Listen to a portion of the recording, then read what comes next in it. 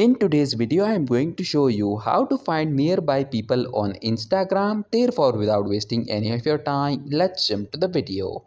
So in order to find nearby people on Instagram, all you have to do is to long press on this Instagram's logo and go to app info.